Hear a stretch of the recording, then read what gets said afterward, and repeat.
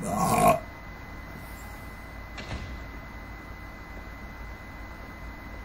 di Taddeo di Bartolo ritrovato nel refettorio di Santa Liberata è una scoperta che solo le più recenti tecniche di restauro consentivo di portare alla luce. La sovrapposizione di un altro affresco di pessima fattura, attribuibile forse a un minore dello stesso periodo, ce l'avevano ceduto Ecco, qui abbiamo documentato una serie di operazioni di recupero per darvi modo di seguire visivamente l'illustrazione.